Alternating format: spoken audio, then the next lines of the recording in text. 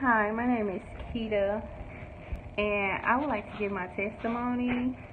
Um, a few years ago, Apostle Andrew prayed for me, and he told me to vision myself in that new house and and a new car and everything else that I wanted God to do for me. This was last year, and I did that, and I'm a living witness that today God did bless me with a new home.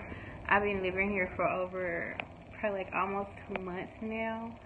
And I'm just thankful to God for his blessing unto me. Thankful for the man of God for speaking into my life and encouraging me. I thank God for him being a willing vessel that God can use. And he is a true man of God. Praise God.